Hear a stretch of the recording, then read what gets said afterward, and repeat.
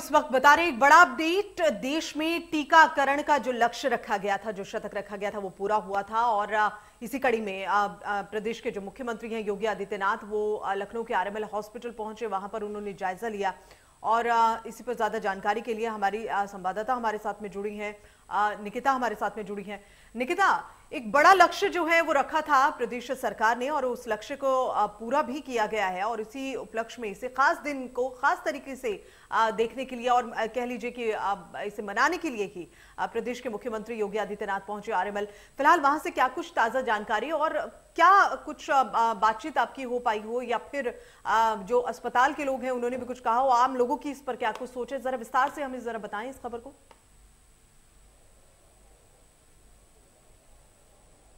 बिल्कुल गीतांजलि आपको बताना चाहूँगी कि आज जो कोरोना की जंग में एक विश्व रिकॉर्ड कह सकते हैं एक नया कीर्तिमान भारत ने रिकॉर्ड कायम किया है जिसमें 100 सीआर यानी 100 करोड़ का जो आंकड़ा है उसको पार कर लिया है और ये लगातार बढ़ रहा है। ऐसे में खुद अगर मैं प्रधानमंत्री की बात करूँ या मुख्यमंत्री की बात करूँ तो वो भी बेहद खुश हैं क्योंकि लगातार उन्होंने जो ये प्रयास किया था उस पर एक मुकाम उन्हें हासिल हुआ है और इस वक्त भी मैं हॉस्पिटल में ही मौजूद हूँ। ये कह सकते हैं कि पिछले जो पाँच महीने हैं वो काफ़ी खास रहे थे बेहद महत्वपूर्ण रहे थे जिसमें सितंबर का जो मंथ है उसमें ही जो प्रतिदिन मैं बात करूँ तो 80 लाख डोजेस दिए गए थे पर डे। और इसी के चलते जो आज ये मुकाम है 100 करोड़ का जो आंकड़ा है वो पार किया है। इसके लिए हमारे साथ इस वक्त मौजूद है जो वैक्सीनेशन इंचार्ज मैं एक हॉस्पिटल में ही मौजूद हूँ। इनफैक्ट उनसे बात करूँगी। जी जी। आ, सर आ, सबसे पहले तो आज हंड्रेड सी का जो हंड्रेड करोड़ का एक वैक्सीनेशन टारगेट पार हुआ है। क्या कुछ कहना है? अभी सिर्फ़ और सिर्फ़ लखनऊ की बात करूँ तो लखनऊ में अभी कितने हो चुके हैं वैक्सीनेशन पर हम लोगों ने हमारे देशवासियों को बहुत बहुत बधाई। हम लोगों ने 100 करोड़ का आंकड़ा पूर्ण कर लिया जो कि कई देशों के लिए कई देशों के लिए एक आश्चर्यजनक है। 100 करोड़ का आंकड़ा कई देशों की आबादी नहीं है। अमेरिका के मात्र 35 करोड़ आबादी वहाँ पे बयालीस करोड़ ही लोग डोज लगा है वहाँ पे। इस बारे में हम लोगों ने एक बहुत बड़ा लक्ष्य हासिल किया है। आ, अब हमारे जैसे हम लखनऊ की बात करें तो हम लोगों ने लखनऊ में टोटल अब तक 43 लाख डोजेज लगाए हैं लगभग। उसमें हम लोगों का डेली बढ़ ही रहा है। डेली हम लोगों के करीब दस बीस हज़ार से अस्सी हज़ार के करीब डेली वैक्सीनेशन हो रहे हैं हम लोगों के यहाँ। तो आंकड़ा काफ़ी अच्छी प्रगत है। ये हमारे देशवासियों के लिए बहुत बहुत बधाई। हम लोग कोविड की लड़ाई में आगे बढ़ रहे हैं। बिल्कुल गीतांजलि एक और भी बात आपको बताना चाहूँगी कि जिस तरीके से यहाँ पर लगातार कैंपेन्स और अभियान चल रहे थे जिसमें टारगेट सेट थे कि पर डे इतना आंकड़ा पार होगा उसी का ये नतीजा है कि जिस तरीके से आज 100 करोड़ का जो आंकड़ा है वैक्सीनेशन का वो पार हो गया है जिसमें खुद अगर मैं बात करूँ मुख्यमंत्री योगी आदित्यनाथ की तो वो भी हॉस्पिटल्स विज़िट कर रहे हैं वहाँ का जायजा ले रहे हैं और यहाँ तक प्रधानमंत्री नरेंद्र मोदी ने भी ये तय कर दिया है कि आज का दिन विशेष है तो इसके लिए कई कार्यक्रम का भी आयोजन होगा। अगर मैं बात करूँ तो ये पूरा जो अभियान है ये 16 जनवरी से स्टार्ट हुआ था। जी। जी जी निकिता आपके साथ में जो इस वक्त मौजूद थे डॉक्टर साहब जैसा आपने बताया इनसे ये जानना चाहेंगे कुछ ऐसे आंकड़े भी सामने आए थे बीच में कि लोगों ने एक डोज तो वैक्सीन की ली लेकिन फिर अगली डोज के लिए नहीं पहुँचे हैं। इस तरह के कितने लोग हैं? और इस तरह के लोगों को दूसरी डोज के लिए बुलाने के लिए या फिर उन्हें जागरूक करने के लिए क्या कुछ खास किया जा रहा है? क्या आप पूछ के आप बता सकती हैं? क्योंकि बहुत ही बड़ा अस्पताल है ये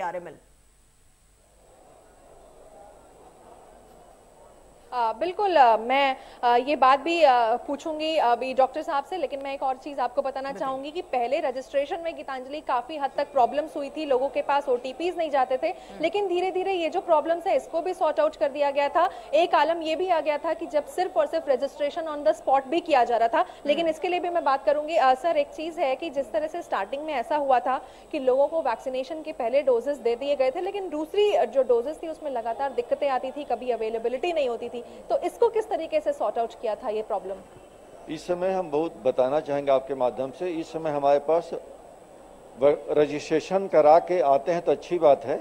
अगर रजिस्ट्रेशन उनका किन्हीं कारणों से नहीं हो पा रहा है हमारे यहाँ बूथ पे आए सीधे हमारे यहाँ तत्काल रजिस्ट्रेशन की व्यवस्था है।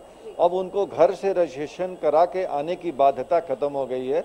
अगर करा के आते हैं तो अच्छी बात है अगर नहीं करा के आते हैं तो अपना आधार कार्ड या पैन कार्ड या कोई भी आईडी भारत सरकार की लेके आए बूथ पे हमारे यहाँ तत्काल हम लोग उनको रजिस्टर करके वैक्सीनेट करवाएँगे। सर ये भी थोड़ा सा लोगों में एक असमंजस की स्थिति बनी थी कि अगर उन्होंने कोविशील्ड लिया है तो क्या वो सेकेंड डोज अगर कोवैक्सीन का ले सकते हैं तो ये चलेगा? क्योंकि बीच में कोविशील्ड की भी कुछ दिक्कतें आ गई थी डिफिशियंसी थी अवेलेबिलिटी नहीं थी। नहीं अभी तक हमारे यहाँ जो भारत सरकार या वर्ल्ड में कहीं भी जो वैक्सीन की फ़र्स्ट डोज लिया गया है सेकेंड डोज उसी वैक्सीन की ले, लेनी है। अभी तक इसका फ्लिप फ्लॉप वाला नहीं हुआ कि पहली डोज कोविशील्ड का ले लिया तो सेकेंड डोज कोवैक्सीन का ले, ले लिया। ऐसा अभी हो नहीं रहा है। तो पहला डोज अगर कोविशील्ड का लिया है तो सेकेंड डोज भी कोविशील्ड का ही लेना है। ये अभी तक कंपलसरी है। तो बिल्कुल गीतांजलि जिस तरीके से इनिशियल स्टेज में काफ़ी दिक्कतों का सामना पड़ना करना पड़ा था लोगों को ये सारी चीज़ें सॉर्ट आउट हो गई थी क्योंकि सरकार ने लगातार ये ऐलान भी कर दिया था कि जो अब रजिस्ट्रेशन है वो ऑन द स्पॉट होंगे अगर मैं बात करूँ शहरी क्षेत्रों में तो हम्म। वहाँ पर तो इतनी दिक्कतें नहीं थी लेकिन लगातार जो ग्रामीण क्षेत्र हैं वैसी हम्म। वहाँ पर ऐसी दिक्कतें ज़रूर देखने को मिली थी लेकिन अब उसमें भी कोई भी दिक्कत नहीं है और अगर मैं बात करूँ तो उत्तर प्रदेश इस वक्त सबसे ज़्यादा लीड कर रहा है वैक्सीनेशन में उसने अगर मैं मैं बात करूँ तो 12 करोड़ से भी ज़्यादा सिर्फ़ और सिर्फ़ उत्तर प्रदेश ने ही क्रॉस कर दिए हैं और ये भारत के लिए फ़िलहाल एक बहुत और एक, एक, एक बहुत अच्छी और एक अहम बात जो अभी बात करते हुए सामने आई है कि हम लोगों से भी ये कहना चाहेंगे जो इस वक्त इस प्रोग्राम को देख रहे हैं हम उनसे भी यही निवेदन करेंगे अपील करेंगे कि प्लीज़ आप अपने वैक्सीनेशन के लिए ज़रूर पहुँचे क्योंकि अब सुविधा आपके लिए ज़्यादा है। पहले रजिस्ट्रेशन कराना होता था लेकिन अब आप जैसे ही अगर आपने रजिस्ट्रेशन नहीं कराया है और आप पहुँच रहे हैं अस्पताल में अपने वैक्सीनेशन डोज के लिए तो हाथ के आती आपका रजिस्ट्रेशन हो सकता है। बस आपके पास आई प्रूफ ज़रूरी है, वो होना चाहिए। आधार इस पे जो है आप अपना ले जा सकते हैं और आप आराम से वैक्सीनेशन करा सकते हैं। लेकिन इसके अलावा निकिता, ये भी जानना चाहेंगे एक बड़ा चैलेंज रहा इस शतक को पूरा करना। ये इतनी आसान रहा नहीं थी।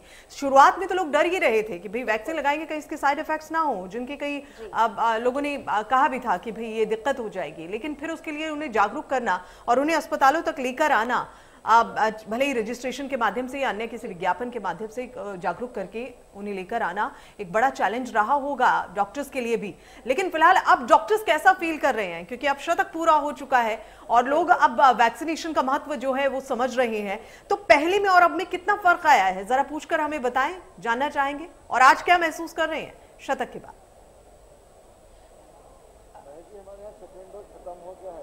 बिल्कुल गीतांजलि सबसे पहले मैं आपको एक और चीज़ बताऊँगी कि पहले मैंडेटरी कर दिया था सरकार ने कि सिर्फ़ और सिर्फ़ आधार कार्ड ही लेकर के आएँगे तभी रजिस्ट्रेशन होगा। लेकिन फिर धीरे धीरे ये प्रॉब्लम भी सॉर्ट आउट हो गई क्योंकि आधार के तौर पर उन्होंने फिर ये कह दिया कि अगर किसी के पास बाय डिफ़ॉल्ट आधार अवेलेबल नहीं है तो वो कोई भी अपना आईडी प्रूफ दे चाहे वो ड्राइवर लाइसेंस हो चाहे वो पासपोर्ट हो और उनका वैक्सीनेशन हो जाएगा। फ़िलहाल इस चीज़ के बारे में भी मैं डॉक्टर साहब से और जानने की कोशिश करूँगी। सर मैं ये बात करना चाहूँगी आपसे कि जिस तरीके से इनिशियल स्टेज में लोगों के बीच में एक डर देखने को मिल रहा था, वो डरे हुए थे, फिर धीरे धीरे वो हॉस्पिटल्स में आए रजिस्ट्रेशन के लेकर भी दिक्कतें सॉर्ट हुई। तो कुछ महीने पहले और अब में आप क्या अंतर महसूस कर रहे हैं? पहले थोड़ा हेजिटेशन था, कुछ लोगों द्वारा अफवाहें फैलाई गई थी, कुछ प्रैक्टिकल भी प्रॉब्लम थी, उनको रजिस्ट्रेशन नहीं हो पा रहा था। जो रजिस्ट्रेशन की प्रॉब्लम थी तो हम लोगों को शॉर्ट हो शॉर्ट आउट हो गया कि कोई भी आईडी एक लेके आ जाएँगे, हम लोग बूथ पे वो करा देंगे। और बाकी जो गलत फहमियाँ थी किसी तरह के अफवाह फैलाई थी लोग उससे उबर चुके हैं। उनकी गलत फहमियाँ दूर हो चुकी हैं। इस समय शहरी क्षेत्रों की बात करें तो शहर क्षेत्र में काफ़ी अच्छा वैक्सीनेशन का ड्राइव चल रहा है। काफ़ी लोग जागरूक हुए हैं काफ़ी लोग बढ़ चल के हिस्सा वो कर रहे हैं। पार्टिसिपेट कर रहे हैं। आ, ये जो वैक्सीनेशन का पूरा अभियान है सर ये 16 जनवरी को स्टार्ट हुआ था तब सिर्फ़ और सिर्फ़ स्वास्थ्य कर्मी और फ्रंटलाइन वर्कर्स को किया गया था फिर दूसरा चरण चला फिर तीसरा चरण।